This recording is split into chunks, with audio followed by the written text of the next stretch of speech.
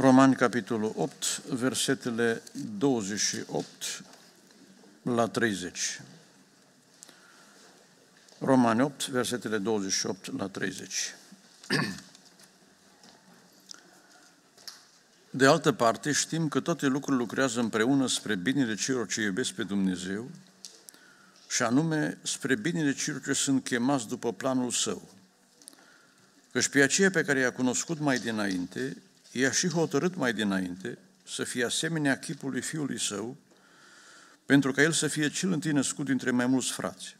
Și pe aceea pe care i-a hotărât mai dinainte, i-a și chemat, și pe aceea pe care i-a chemat, i-a și socotit neprihăniți. Iar pe aceea pe care i-a socotit neprihăniți, i-a și proslăvit. Amin. Amin. Reașezați-vă, vă rog.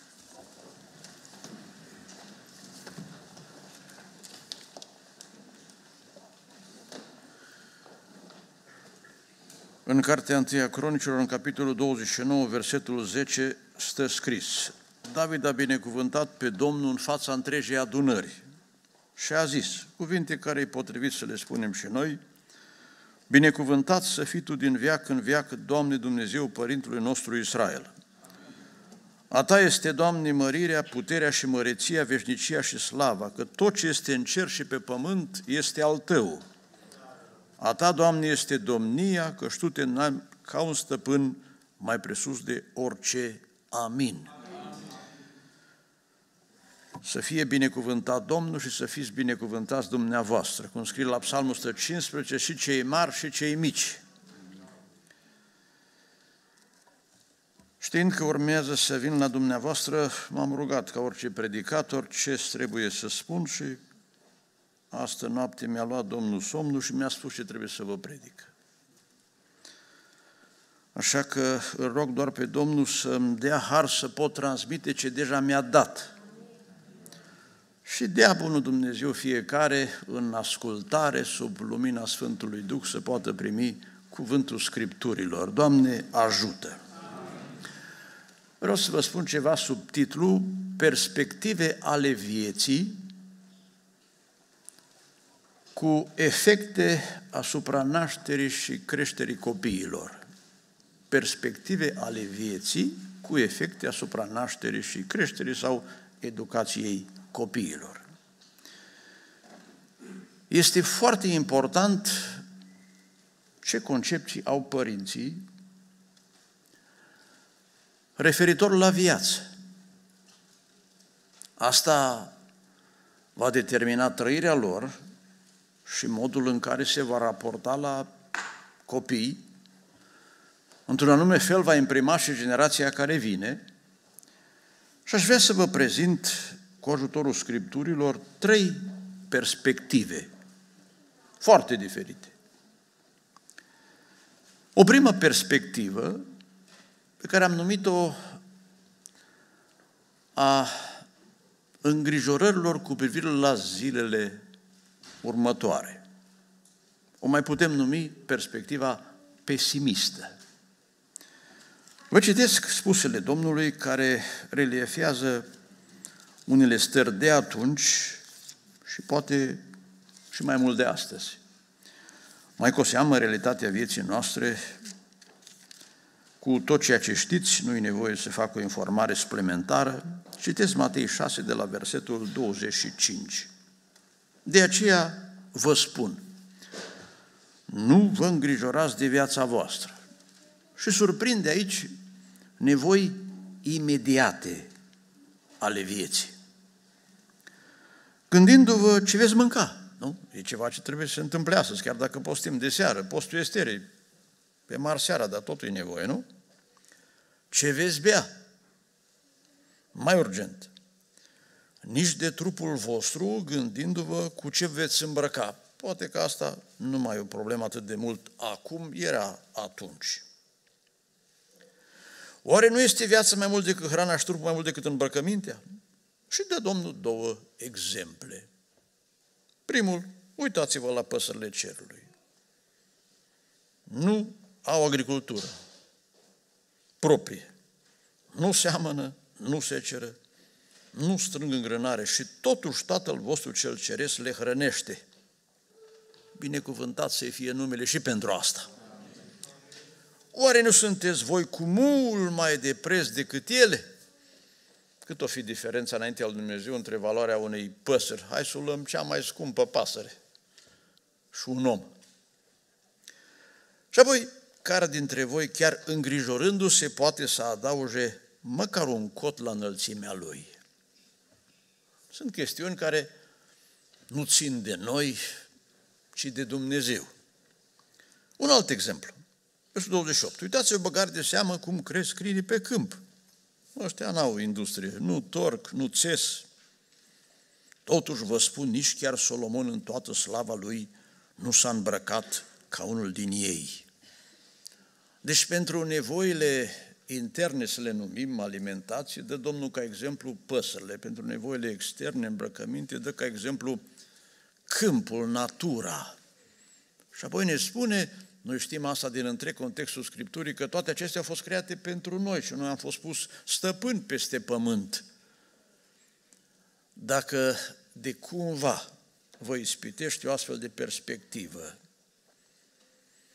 dacă reușim să facem față nevoilor vieții și dacă e vorba de copii, apar temeri suplimentare, nu? Ce va fi, ce vom face? Întrebarea nu este ce vom face noi, și ce va face Dumnezeu.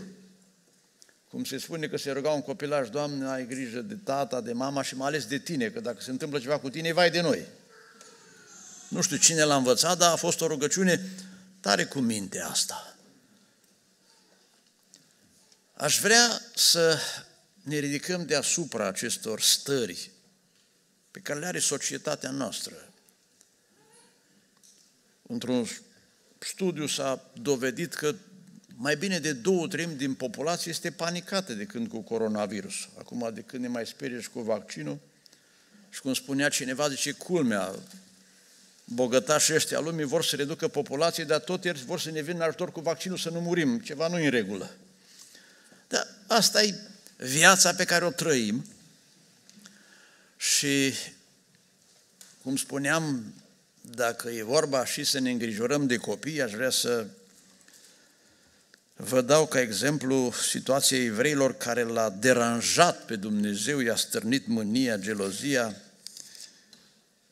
Mai întâi s-au îngrijorat cu privire la ei după ce au ieșit din Egipt. Scrie în Exod la capitolul 16, i-au zis lui Moise, cârtind versetul 2, de ce n-am murit în țara Egiptului? Adică vreau să spună că oricum murim acum,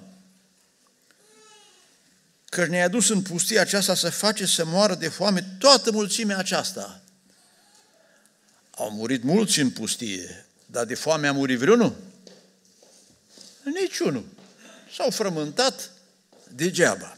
Apoi, ajungi mai la hotarele Cananului, ne spune Scriptura în număr 14, versetul 1, toată adunarea și nu erau numai câți noi, erau acolo făcând calculul, două milioane de oameni. A ridicat glasul și a început să țipe și poporul a plâns în noaptea aceea, pentru că aveau perspectiva îngrijorării pentru zilele următoare. De ce nu fi murit noi în țara Egiptului sau Domnul ne duce în țara aceasta în care vom cădea uciși de sabie, iar nevestele noastre și copilașii noștri vor fi de jaf. Nu este oare mai bine să ne întoarcem în Egipt? Și Dumnezeu pentru asta, deși a zis versul 20, iert cum ai zis, dar nu o să-i lasă ajungă în țară. Adică i-a condamnat Dumnezeu să se adeverească perspectiva lor. Dacă n-au avut încredere în El. De aceea să luăm sfatul apostolului Pavel, menționat în Filipeni la capitolul 4, versetul 6, nu să fim naivi, dar atât ce avem de făcut de cumva ne bate la poartă o astfel de îngrijorare. Nu vă îngrijorați de nimic. Aici se include totul. Ci în orice lucru, aduceți cerile voastre la cunoștința lui Dumnezeu prin rugăciuni și cereri cu mulțumiri Și se întâmplă ceva interesant după ce îi le spunem lui Dumnezeu, încredințați, aducem și mulțumirea, pacea lui Dumnezeu care întrece orice pricepere. Adică nu știm cum vor evolua lucrurile. Dar odată ce le-am dat lui Dumnezeu să nu ne mai cărăm noi, se lasă o stare de pace. Nu știu cum va fi, dar va fi bine. Și asta ne va păzi inimile și gândurile în Hristos Iisus. Doamne, ajută-ne dacă e cineva împresurat de această stare de asediu, ce va fi în zilele următoare, să fie despresurat și să capete pace. Știți situația aceea descrisă în Cartea a doua Împăraților, capitolul 6? Două femei au vorbit. Mâncăm azi pe fiul tău, mâine pe al meu, l-au consumat pe primul, a doua, l-a ascuns. S-a îngrozit împăratul. Purta și el un sac pe trup. Ce stare critică, puțin spus critică. Și în acel context vine Dumnezeu prin prorocul Elisei și rostește următoarele cuvinte. Așa vorbește Domnul 7 cu 1. Mâine, la ceasul acesta se va vinde la poarta Samarie o măsură de floare de făină cu un ciclu și două măsuri de orz cu un ciclu. Călărețul a zis, chiar dacă ar face Dumnezeu ferestre în cer, cum s-ar putea întâmpla un asemenea lucru? S-a întâmplat sau nu s-a întâmplat? Cu sau fără ferestre? Fără ferestre. Ce s-a întâmplat? Ascultați tot ce s-a întâmplat. Versetul 6. Domnul a făcut să se audă în tabăra sirienilor un vuiet de cară și un vuiet de cai. Nu știu cum a făcut zgomotul ăsta așa. Și cu un singur vuiet. Poate vântul, în felul în care a suflat, poate vreun înger, nu știu ce instrumente ar fi avut ei, și totul s-a rezolvat. Că nu este ceva prea greu pentru Domnul. Mi-am că am citit cu ani în urmă revista Sămânța Adevărului, că într-o familie a venit o astfel de ispită și a zis soția către soț și seara, i-a reamintit dimineața, dragă, bani nu mai avem, nici cash, nici pe card, frigiderul e gol, la copii trebuie medicamente, ce facem? Nu mai am nici 100 de dolari. Dar dimineața, ca niște buni credincioși, au citit din Scriptură și Domnul a rânduit să citească următoarele două versete. Evrei 13 cu 5 și 6. Să nu fiți iubitori de bani, mulțumiți-vă cu ce aveți, căci El însuși a zis, nici de cum n-am să vă las, cu niciun chip nu vă voi părăsi. Așa că putem zice plin de încredere, Domnul este ajutorul meu, nu mă voi teme. Ce mi-ar putea face omul? Cu aceste cuvinte, cu rugăciunea spusă, el a plecat la serviciu, pe drum vede un om, un jeep pană, se oprește ca un creștin binevoitor, îl ajută la depanare, omul, un om bine îmbrăcat, spune, cât mă costă? Pă, fac un bine de dimineață să vă taxez. Drum bun, omul spune, chiar nu mă costă. George mă cheamă, salută proprietarul mașinii.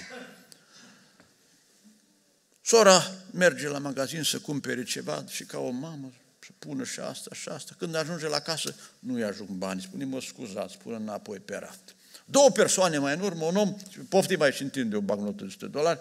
Nu, domn, vă rog, dar ei nu mai trebuia numai 13 dolari. Și când se dea restul, nu, nu, nu, plătește un singur produs, domnul, dar George mă cheamă. Ăsta n-a spus, de fapt, scuzați. Ajunge acasă, bucuroasă, a trecut pe la farmacie, a luat medicamente, vine soțul. Spune, dragă, ce minune a făcut Dumnezeu. Și întreabă cine ți-o da banii, ca să scurtez povestea. Și spune unul, arăta foarte bine îmbrăcat, la cravat, tun scurt. A făcut așa numai cu mâna, dar nu a spus la magazin cum îl cheamă. El spune, și eu am întâlnit unul dimineața, tot așa bine îmbrăcat și a făcut cu mâna. Mi-a spus, George îl cheamă. Dar era pletos. Știți ce s-a întâmplat? Omul s-a tot gândit, mă, de ce nu m-au luat bani? Am văzut că sunt om cu bani. Ăsta nu m-a pocăit, poate să fie. Dacă ar mai fi știut și ce a discutat nevoia de acasă. Băi, și tata a pocăit. Mi-amintesc multe ce a spus tata, dar astăzi măcar una împlinesc, mă duc și mă tund. Și ați înțeles acum de ce George dimineața a fost pletos și după masă a fost tuns. Dar minunea cea mare nu e a lui. Poate să o fi pocăit, nu știu. Relatarea se oprea aici. Familia aceea a putut să constate în acea zi că îngrijorarea pe mâine nu și are locul, fiindcă astăzi Dumnezeu este aici. Și când mâine va deveni azi, Dumnezeu este tot aici. Așa că nici cu privire la noi, nici cu privire la copii, o astfel de perspectivă pesimistă să nu ne cuprindă. Amin. O a doua perspectivă. Perspectiva împlinirilor în viața aceasta. O perspectivă optimistă. Sunt oameni care au uh, anumite șanse, au posibilități, au o viziune, investesc și își propun ceva pentru viață, pentru ei și, dacă se poate, pentru copiii lor. O astfel de viziune este descrisă în Psalmul 49, vă citesc de la versetul 6. Ei se încrede în avuțiile lor, se fălesc cu bogăția lor cea mare. Versetul 11. Ei și închipuie că veșnicile vor fi casele, că locuinților voi dăinui. Sunt astfel de oameni. Aminteam mai adineauri de oameni ăștia. Și am surprins nu de mult o discuție, cineva spunea, băi, ce ne fac ăștia, Bill Gates și Soros și alții. Dar unul stătea așa, oarecum pasiv. Dar la un moment dat zice, mă, dă-le pace că și ei mor. Că doar nu de mult a murit tata lui Bill Gates, nu? Asta este doar perspectiva vieții din lumea aceasta. Și scrie, rămân în cartea Psalmelor la 146, versetul 3, nu vă încredeți în cei mari, în fiii oameni în care nu este ajutor, suflarea lor trece, se întorc în pământ și în aceeași zi le pierd și planurile. Au fost oameni care s-au gândit la viață și fac și adună. Știți pilda aceea cu bogatul care a rodit? Țarina. Numai că nu știe nimeni unde-i capătul, așa Zice Bihoreanul Traian Dors, necunoscut și tainic al nostru viitor, nu știm ce ne așteaptă la pasul următor. Necunoscut e al morții și loc și fel și ceas și nu știm până la ele cât timp ne-a mai rămas. Nu știe nimeni locul, nu știe în care fel și în care timp așteaptă sfârșitul pentru el. Oare din categoria aceasta, din perspectiva asta optimistă, sunt unii aici care au planuri și care sunt încrezători în viață că vor reuși. Ăștia nu sunt melancolici, cred că. Sunt oameni cu spirit, cu viziune. Să vă dau eu un exemplu din Scriptură. Solomon. Ia ascultați ce a propus omul ăsta. Eclesiastul, capitolul 2, versetul 4, și-a și realizat. Ce a realizat el, noi nu suntem în stare. S-ar putea nici dacă adună averea de la noi toți. Dacă mă gândesc la aurul ce avea, sigur așa. Nici Oradea nu-l ajunge. Am făcut lucruri mari. Mi-am zidit case.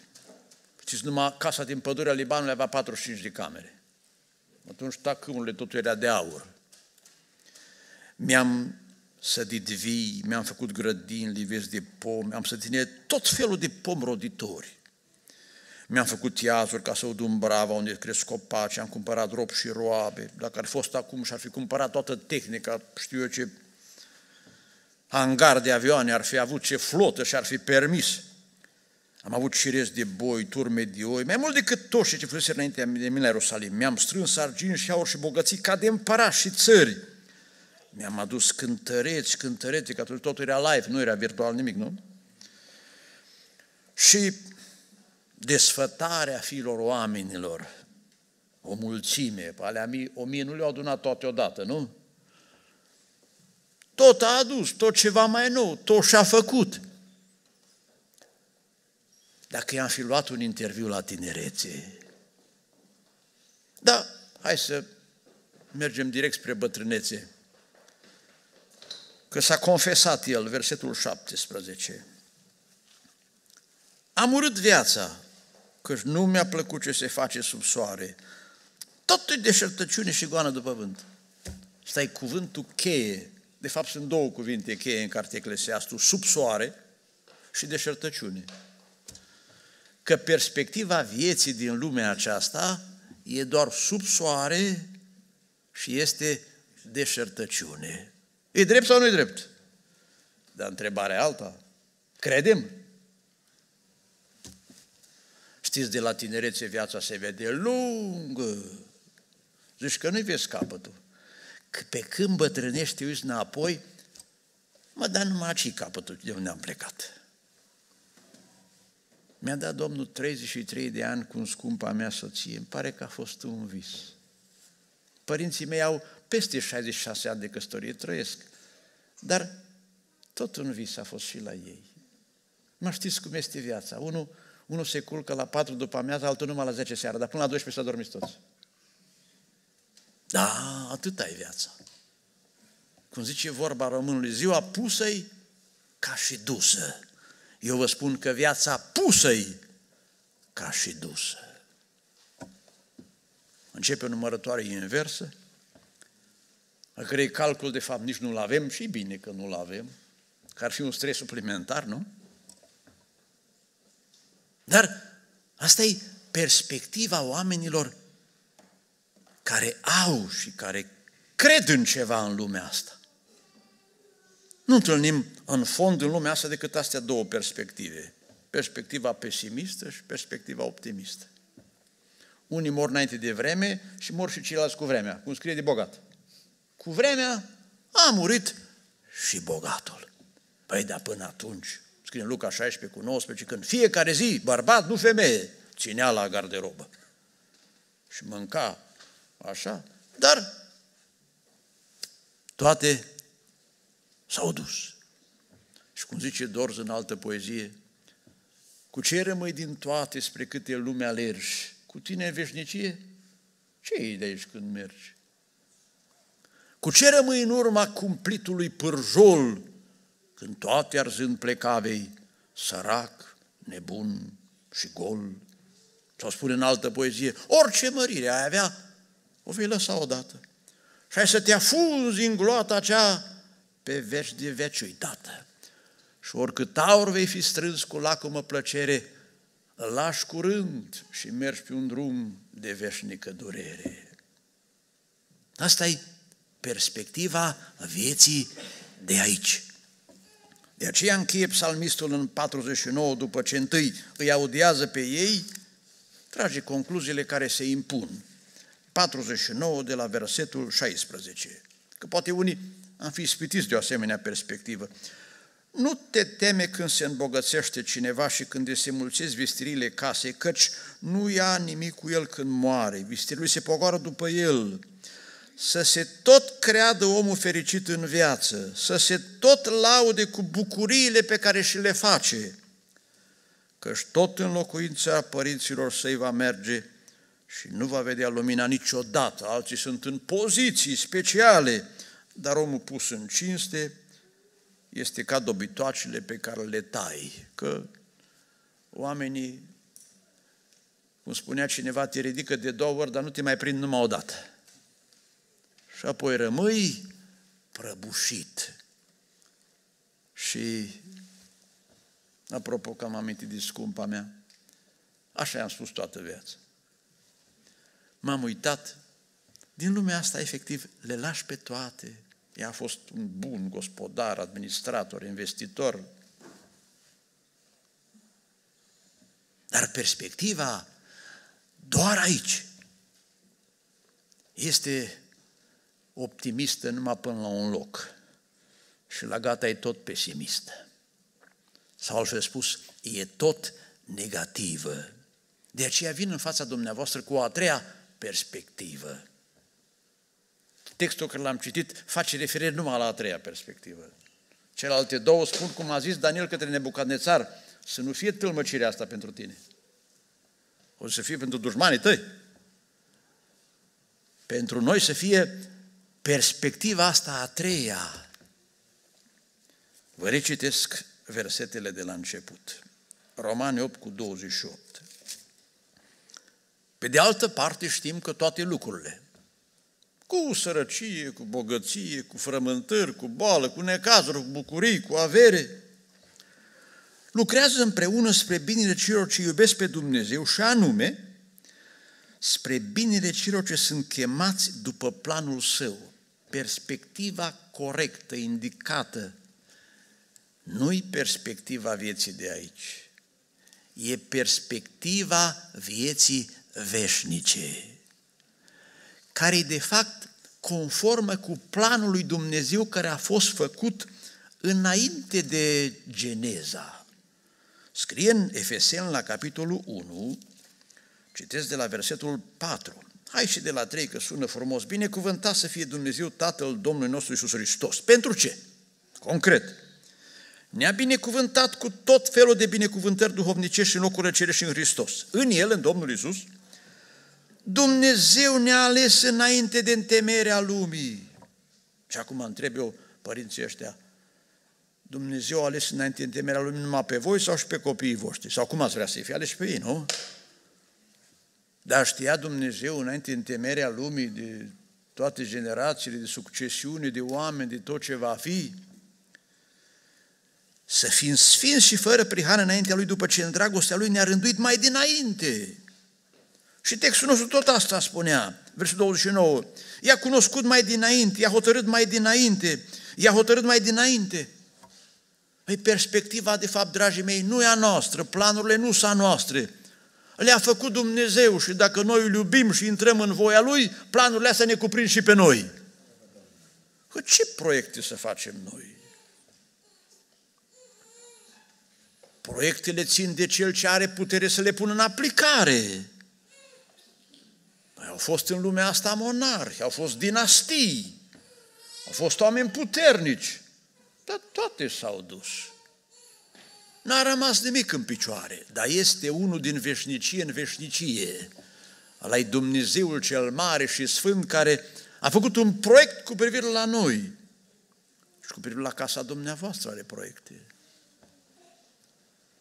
Asta, v-am spus, influențează conceptul despre nașterea și creșterea copiilor. Dacă ai teamă, îngrijorări, mai cu o seamă de sperie doctorul pe o, pe o femeie tânără, că de mai naște un copil se întâmplă ceva și cu sperietura asta, păi nu o să mai fie mămică până când nu o să mai poată să fie mămică. Care are perspectiva vieții de aici, atunci își face planuri, cum este mentalitatea asta oarbă de altfel, că dacă ai condiții și ai capacitate să faci câți copii poți, măi, dar tu poți falimenta mâine, poți face un accident în seara asta și copiii care ai zis că sunt pe puterea și pe brațele tale, cum rămâne? Dragii mei, Puterea e numai a lui Dumnezeu, nouă numai dacă ne dă. Noi nu ne putem încrede în noi înșine. Biblia spune cine se încrede în sine, ce este? Înțeleptul spune un nebun. Dar când iei în calcul perspectiva asta a veșniciei, te raportezi ca atare, în primul rând, în ce privește viața ta, apoi nașterea copiilor și creșterea lor. Ai altă gândire. Vă citesc ce spune textul aici, că și pe aceea pe care i-a cunoscut mai dinainte, dacă vă place Biblia, vă pun o întrebare și nu vă dau răspuns. Cu câtă vreme înainte a zis Dumnezeu, se va naște un fiu al casei lui David, numele lui va fi Iosia. Cu câte sute de ani numai să vă gândiți auzi. Știu Dumnezeu cum o să-i pună numele.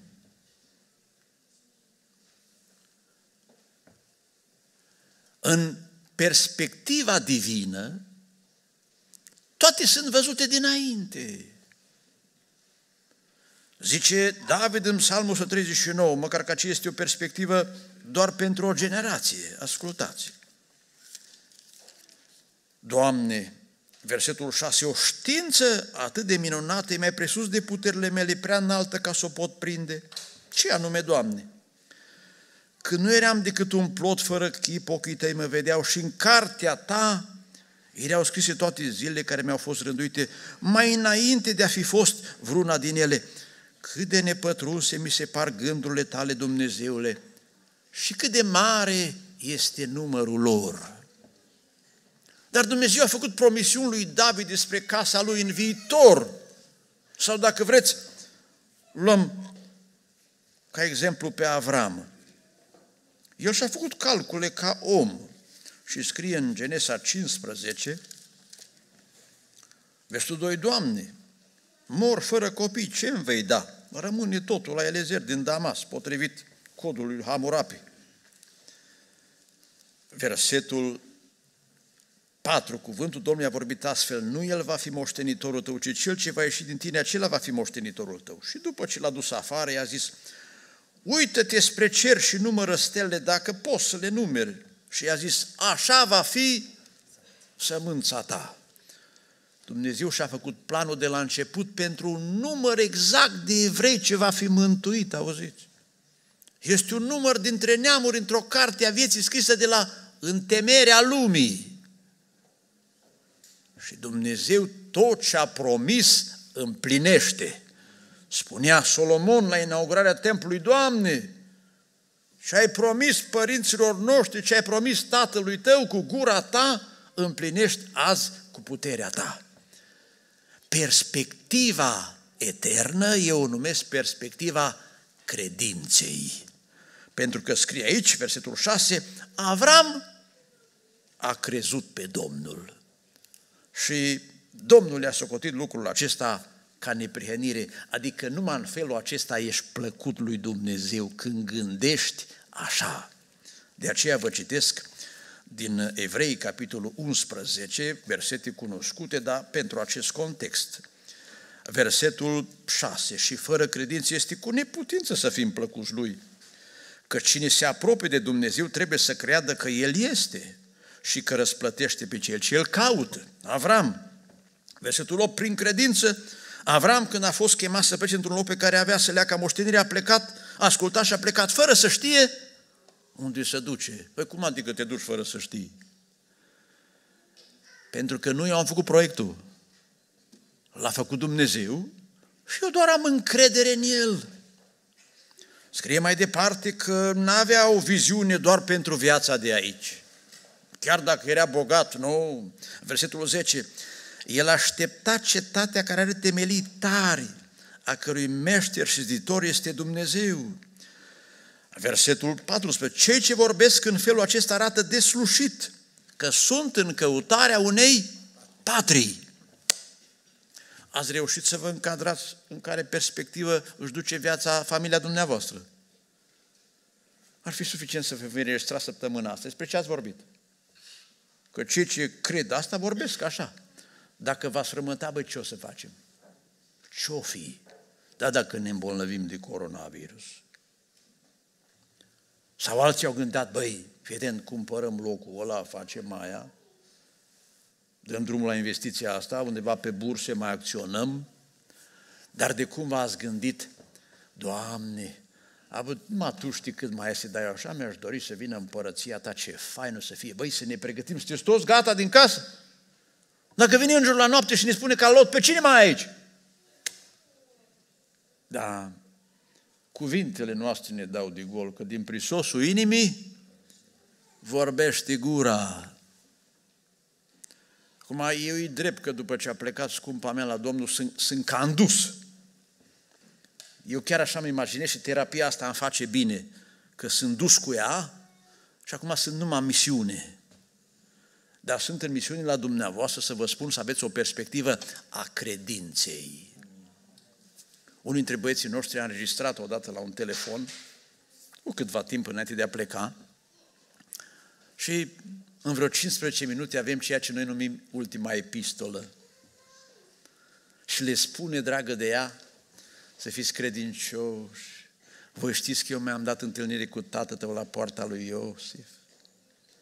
Noi o să ne întâlnim din nou, vom fi împreună. Așa mi declară asta, mai clar de cum vă văd pe dumneavoastră.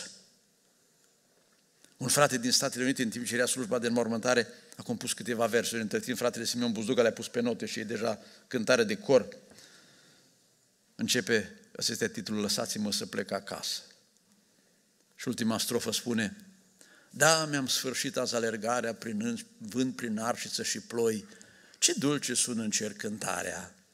Vă aștept ca să veniți și voi. Cu o astfel de perspectivă, chiar dacă încă ești tânăr și trebuie să privești realitatea vieții de aici, dar tu tot te scapi și te uiți dincolo. Că asta scrie aici. Versetul 13. În credință au murit toți aceștia fără să fi căpătat lucrurile făgăduite, ci doar le-au văzut și le-au rat de bine de departe, mărturisind că sunt străini și călători pe pământ. Că nu e aici doar perspectiva. Dacă așa gândești, se schimbă optica și cu la nașterea unui copil. Dacă ai o perspectivă a îngrijorării, s-ar putea, pe raționamente economice sau pe motive de sănătate, să te temi să mai ai alt copil. Dacă ai doar o perspectivă a vieții de aici, să vei face planuri după mentalitatea lumii de aici, cum se spune în societate, că mai de mult în zone rurale, în condiții agrare, era nevoie de mai mulți copii, acum este mai greu, că sunt o piedică în calea realizării profesionale. Păi, dragii mei, realizările profesionale de aici sunt tot niște castele de nisip. Dar o perspectivă eternă e cu totul altceva. Când am împlinit 25 de ani de la căsătorie, copiii ne-au făcut o surpriză. Au renoit-o la 30 de ani, sunt pregătiți la anul să actualizeze tabloul. Au luat o poză de a mea și a soției și s-au încadrat acolo frumos într-un tablou, că scumpa mea, așa am numit-o eu, mama de săvârșit, a născut șapte fii și o fică prima. Acum sunt și 18 nepoți, dar când a văzut prima dată tablou, nu puteam desprinde de lângă tablou. Zic, dragă, doar îi cunoști. Băi, dar noi am făcut pe ăștia toți. Păi zic, ți amintești că nu s-a născut niciunul fără să ne încredințeze Domnul că mai vine câte un copilaș. Deși spunea unii despre noi, dacă ar fi, dacă tot am amintit ceva, după ce m-am căsătorit, am mai făcut 12 ani de școală. 12 înainte, 12 după. Când m-a portat în școală părinte și nevasta. Am locuit în casă pe chirie, abia al șaselea s-a născut în casa noastră. Și spunea unii din jur, Iosif nu știe face numai școală și misiune și nevasta numai copii. Ăștia unde o să stea și ce o să facă? Nu știu cât am fost de credincios, dacă am fost și naiv în parte, dar nu m-am frământat cu asta. Una pot să vă spun, Dumnezeu ne-a purtat de grijă. Nu fără muncă și fără trudă. Dar toți îmbătrânesc și se epuizează la urmă urme. așa -i? plug ori în brazdă, ori la rugină, tot praful să alege de el. Am trecut și prin vremuri critice, mi-amintesc că era alimentele pe cartelă.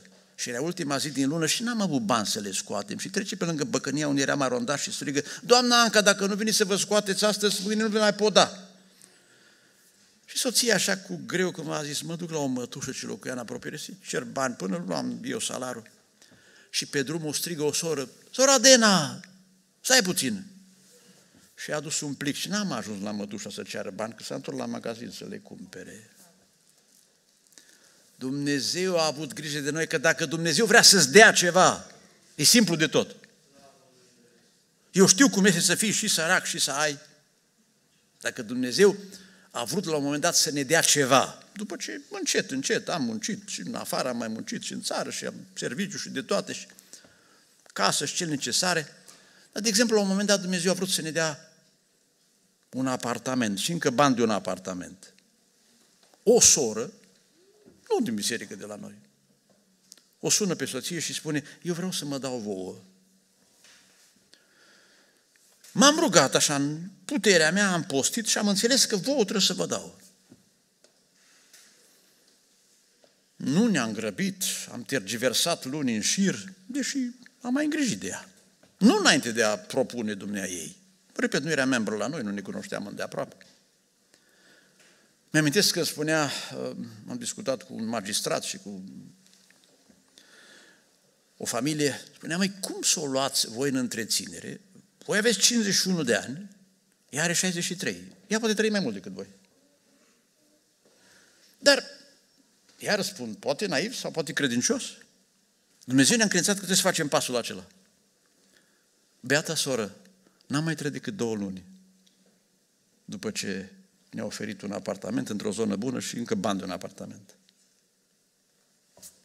Și am zis ce simplu pentru Dumnezeu dacă vrea să-ți dea ceva. Zice și se face. Repet, știu cum este să fii și sărac și să ai cele necesare. Și copiii aceia pe care se gândeau unii că ce o să aibă, Păi doi dintre ei s-au mai mutat acum la casa lor și n-au 30 de ani. Că Dumnezeu este credincios. Dar nu asta mă încântă pe mine. Și cum zice o poezie, un singur lucru m-ar îngrijora de îmi va lipsi de acolo cineva.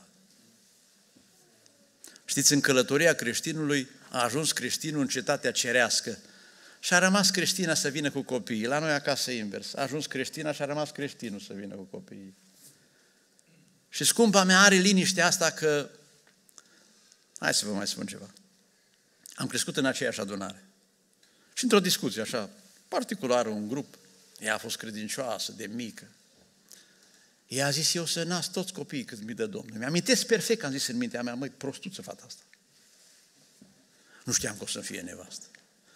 Dar înainte de a mă căsători, am trecut printr-un proces de naștere din nou și în ziua anunții, păstorul ce l-a apucat s-a rugat și a zis, Doamne, dacă în familia asta vrei să dai copii, fă să înțeleagă voia ta și în privința asta. Și nu a schimbat Domnul programul.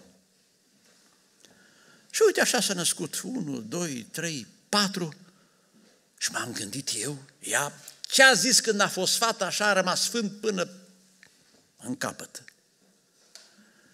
Băi, prins cu școala, cu serviciul, lucram în învățământ, ore suplimentare. Da, să încerc eu o perspectivă de abstinență și visez într-o noapte că sunt în cabina unui, unui uriaș, mașină din alea cum erau alea rusești cu roți, roți aproape 2 metri, el la volan, eu în dreapta, soția în dreapta. Și ajungem într-o intersecție formă de teu și îl virează stânga, scria pe indicator spre groapa de gunoi. Și unde vă duceți? Am un copil în benă și îl duc la gunoi. Dar noi nu participăm la așa ceva. Eu nu, cu asta mă ocup. Dar de fiecare dată am în cabină un tată și o mamă. Dacă nu opriți, noi sărim din cabină. Și m-am trezit. Și soția mea spune, dar eu știi ce am visat? Că mergeam cu autoturismul nostru. Și tu din neatenție erai tu la volan ai călcat un copil și din față venea poliția. Ai oprit speriat și copilul o țâșnit de sub mașină și a fugit. Ei, după astea două visuri azi, ei, dragă, să mă iert și tu, să mă ierte și Dumnezeu. Gata, am înțeles. Și a venit al cincilea și la opt s-a oprit. Atât ne-a fost dat. Și revin la imaginea cu tablou. Se uita la ei așa ca o mamă. Și eu zic, dragă, pe mine știi ce mă, mă încântă aici? Au găsit copiii două versete și au pus unul deasupra tabloului și unul de desubt, vi le citesc. Maleahii, capitolul 3, ăsta îl știam, eram obișnuit cu el. Ei vor fi ai mei, zice Domnul, vor fi o comoară deosebită în ziua aceea. Și de desubt, Zaharia, capitolul 9, versetul 16. Ei sunt pietrele cu nuni împărătești care vor străluci în țara sa. Zic, auzi, dragă, pe ăștia vrea să-ți pună Domnul în cunună? Perspectiva eternității, perspectiva credinței te face să privești altfel o viață. Te uiți la el, e o trudă, nu? Ce va face în viață? Îl facem doctor, vor reuși să-i facem casă, nu vom reuși? Ei nu să știe, ne plângem ca evrei în pustie. Dar când te uiți la să zici, Doamne, ce, ce va fi copilul ăsta în slava ta? Ce ai pregătit pentru el? Ce 100 de ani, 1000 de ani, ce Solomon în Eclesiastul 6, treci de două ori 1000 de ani. ce e asta? Spun unii frate, ei au trăit 1000 de ani. Mai tași că morți deja de mii de ani.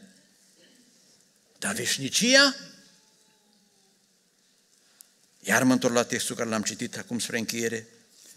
Spune aici în Roman, capitolul 8, toate lucrurile lucrează împreună spre bine. Și o boală, și un necaz, și sărăcia, și bogăția. Asta spre bine celor ce sunt chemați după planul lui Dumnezeu. Că în planul lui Dumnezeu a avut Dumnezeu ceva cu mine. Eu sunt o minune la rândul meu că sunt în viață. Ani în șir mama a visat cu mine. Și l-am auzit pe tatăl meu mărturisind în adunare, n-am vrut să dau naștere acestui copil. Ce am știut eu ce slujbă are Dumnezeu cu el? Da băieții lui. Și și-a cerut iertare în fața adunării plângând, deși prezbiter tatăl meu.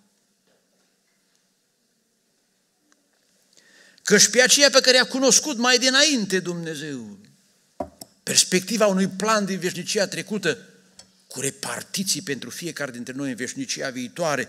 Și se încheia textul cuvintele, pe aceea pe care o hotărâi mai dinainte i-a și chemat și pe care i-a chemat a și socotit neprihănit și pe aceea pe care i-a socotit neprihănit i-a și proslăvit, adică Dumnezeu ne vede direct în pozițiile de slavă, dragii mei. A cerut Salome și cu Ioan și Iacov, pune-i să șadă unul la dreapta și unul la stânga. Și Domnul Iisus? Zrânduite locurile. Am fost toată misiune la Bisița și îmi spune o frate, ce o soră m-a întrebat, câți copii are fratele Iosif? Și dar de ce, soră, ce întrebi?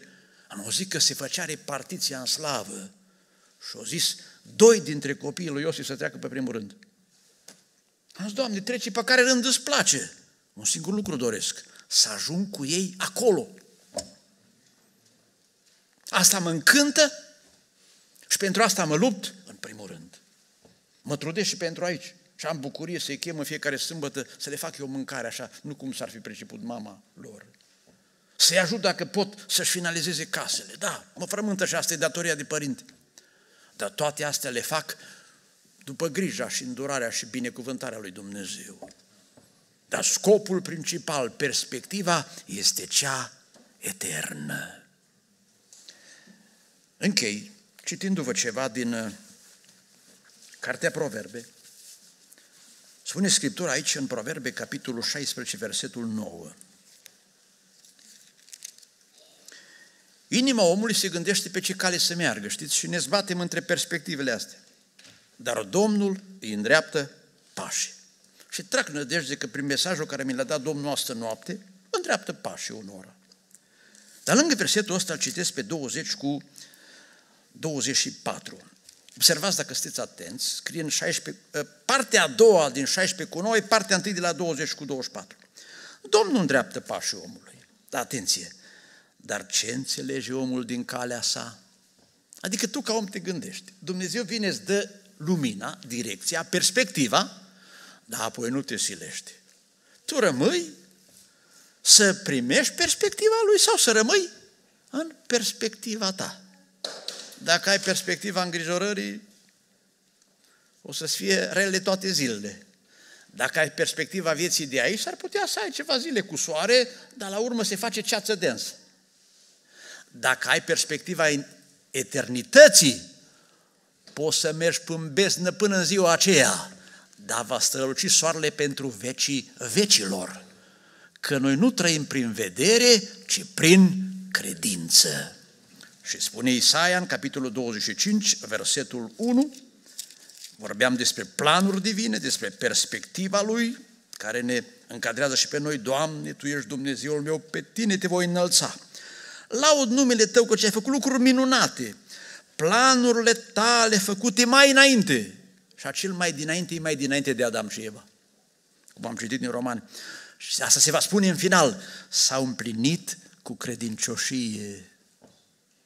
Dar scrie în Luca 7 că unii zădărnicesc planul Dumnezeu pentru ei, unii ne primind botezul, alții ne făcându-și misiunea în lumea asta. Pentru ei zădărnicesc planul, dar nu planul lui Dumnezeu.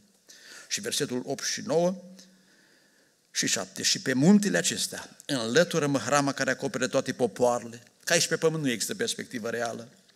Învilitoarea care înfășoară toate neamurile, nimicește moartea pe vecie, Domnul Dumnezeu șterge lacrimile pe toate fețele, îndepărtează de pe tot pământul o cara poporului său, dar Domnul a vorbit. În ziua aceea vor zice, și asta vă doresc să fiți printre cei ce vor zice atunci. Iată, acesta este Dumnezeul nostru în care aveam încredere că ne va mântui. Acesta este Domnul în care ne încredeam. Acum să ne veselim și să ne bucurăm de mântuirea Lui. Și acea bucurie va fi eternă. Vă doresc pentru toată casa. Amin.